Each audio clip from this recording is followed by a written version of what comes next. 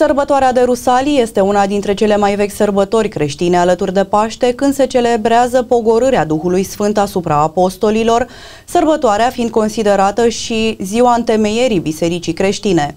Numele sărbătorii de Rusalii vine de la Rosalia, sărbătoarea romană a trandafirilor sau a rozelor, peste care se suprapune sărbătoarea creștină, ce în vechime era închinată și strămoșilor. Mai este numită în popor și cincizecimea, denumirea zilei venind de la faptul că se prăznuiește la 50 de zile după Paște.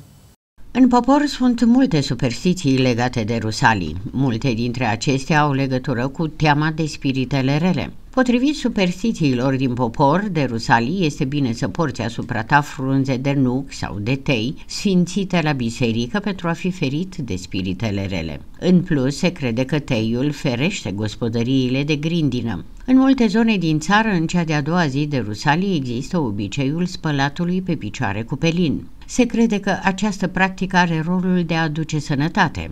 În Duminica Rusaliilor, preotul și enoriașii din comunitate merg pe câmp și săvârșesc sfeștania, sfințirea mică a apei. Cu aghiazma aceea se stropesc apoi semănăturile câmpului pentru a aduce belșug se ung ușile cu usturoi pentru că așa casa va fi păzită de rele și de ghinion tot restul anului. Una dintre superstițiile legate de Rusalii, la fel ca și de alte sărbători creștine, este aceea că nu trebuie să speli și nici să muncești în aceste zile. De Rusalii nu se intră nici în vie, nu se merge în locuri pustii, pe lângă păduri sau fântâni, deoarece conform miturilor populare te poți întâlni cu spiritele rele. Se consideră fără eficiență plantele medicinale culese la rusalii sau în preajma rusaliilor.